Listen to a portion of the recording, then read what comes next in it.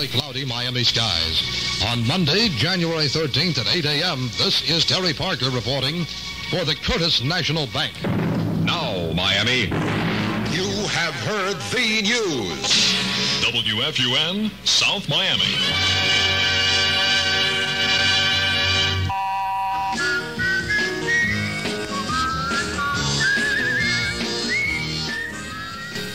It's 8.30, 8.30, fun time. Jack Purrington here, purring along. WFUN 790 presents the Marine Weather Watch. Next high tide will be at 7.16 tonight, and the next low early this afternoon at 1.25.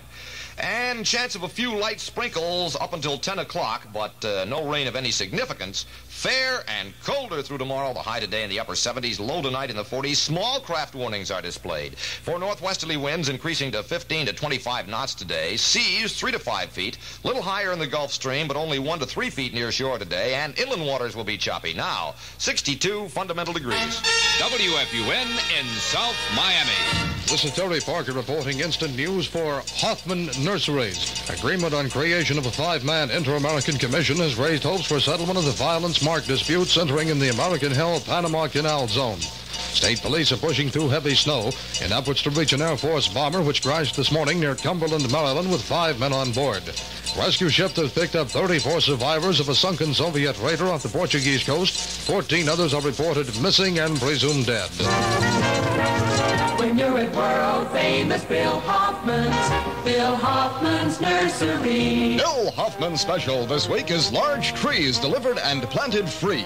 All varieties are available such as orange, grapefruit, mango, avocado, tangerine, and many more. This week the special price is $35 and up. Also, smaller trees at $3 and up. That's Bill Hoffman Nursery, 2160 Northwest 79th Street, Miami, and 3300 Southwest 48th Avenue, West Hollywood. Open 7 to 7 daily. For Bill Hoffman Nurseries, this is Terry Parker in Action Central. Here's the headline hit parader song on fun.